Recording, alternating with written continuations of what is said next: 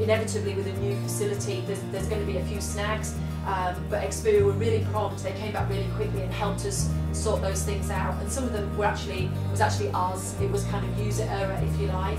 Uh, and we just had a little bit of extra training to make sure that we knew what we were doing especially with the um, director software and the fact that it's all linked to, to a PC here in our mile room.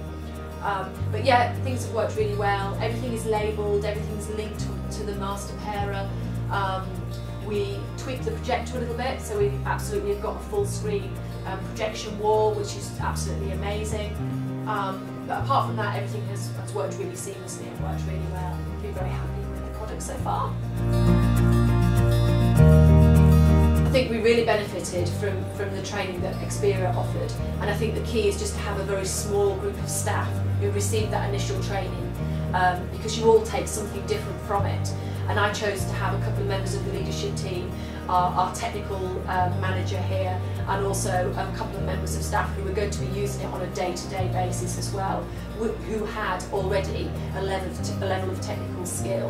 Uh, and that was a good mix of people because from that we got a lot of confidence, we got a lot of reassurance and indeed we were able to say, yes, this is what we need, this is how we're going to use it uh, and share those skills as well.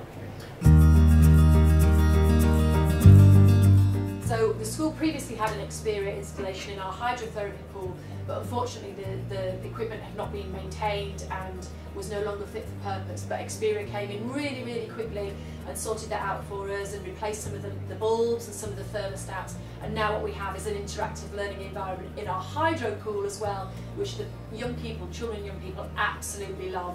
And so we've got projectors and we've got smoke machines and we've got coloured lighting, again with a, um, a switch pupils can access to change the colours and it's just transformed that learning environment and again they're much more kind of sensory, multi-sensory, interactive and it's brought our pool back to life uh, and it's really, really super. Yeah, we've been delighted with how that's worked out. Thank you. Foundations of what is a good special school and obviously on our journey to be an absolutely outstanding special school.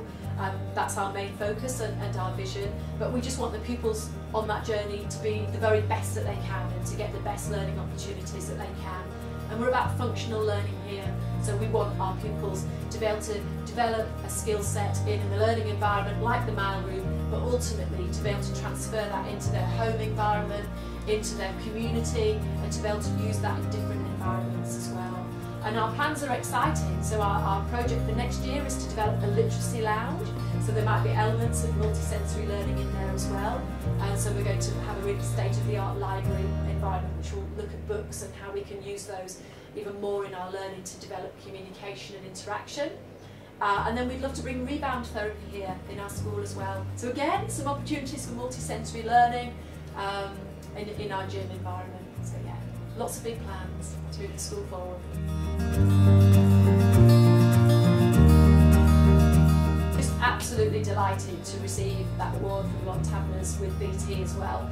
Uh, and the minute that information came through, we were like, oh my gosh. And I just, it was in the, my first term of headship as well, so it was just a real, felt like we've been handed a golden ticket um, to redevelop this wonderful space as well within that time frame.